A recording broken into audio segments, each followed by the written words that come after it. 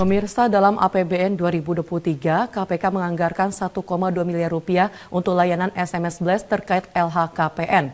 Anggaran ini dinilai bukanlah nominal yang besar jika dibanding dengan harta negara yang diselamatkan KPK dari para koruptor.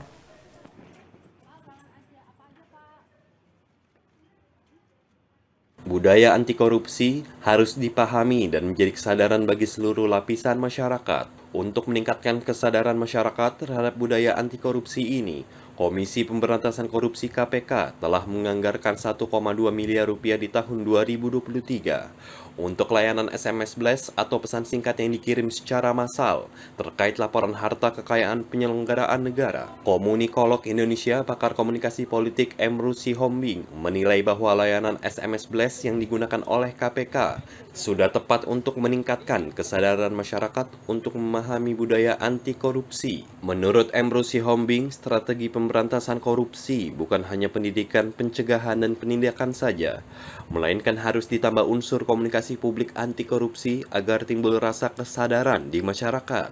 Emrus juga menilai anggaran 1,2 miliar rupiah yang diminta KPK dalam APBN 2023 bukanlah nominal yang besar jika dibandingkan dengan harta negara yang diselamatkan KPK dari para koruptor.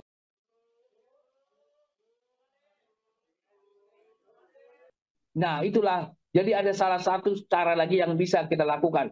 Yang terakhir, saya menyarankan supaya pemberantasan korupsi ini semakin uh, uh, bergerak, ber, terakselerasi, di, sebagaimana KPK sudah bekerja keras, dibuatlah uh, kurikulum di, di seluruh pendidikan tingkat TK sampai S3 ada kurikulum mata kuliah yang namanya anti korupsi atau namanya apa pun tapi yang menumbuhkan integritas.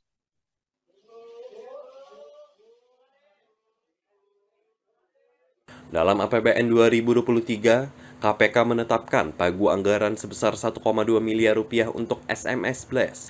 Angka ini naik dari tahun sebelumnya yang memiliki pagu sebesar 999,2 juta rupiah. KPK menganggap program SMS Blast ini efektif untuk meningkatkan kesadaran masyarakat, khususnya di pedesaan.